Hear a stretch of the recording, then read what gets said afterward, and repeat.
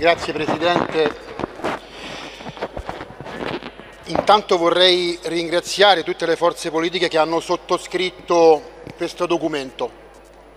È un documento che arriva a fine consigliatura ma in tempo appunto per promuovere la candidatura di Roma ai prossimi campionati del mondo di skate per quello che riguarda il park. Quest'anno si sono svolti quelli che hanno riguardato lo street e io credo che questa sia una grande opportunità per la città.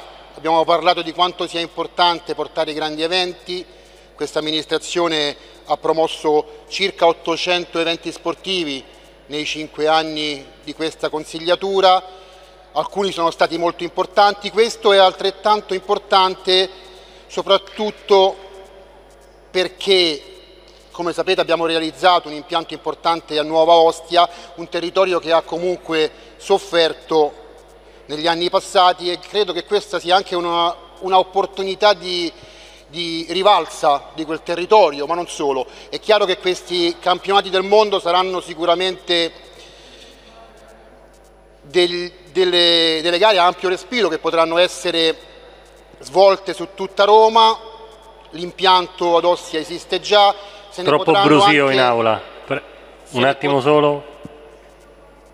Prego, consigliere. Grazie. Se ne potranno anche realizzare altri. Eh, nella mozione ho voluto anche sottolineare la richiesta per quello che può contare eh, di impegno da parte dei prossimi candidati a sindaco di questa città, anche perché spetterà sicuramente alla prossima consigliatura eh, mettere in atto, mettere a disposizione gli strumenti per, per eh, promuovere la candidatura di Roma a questo evento.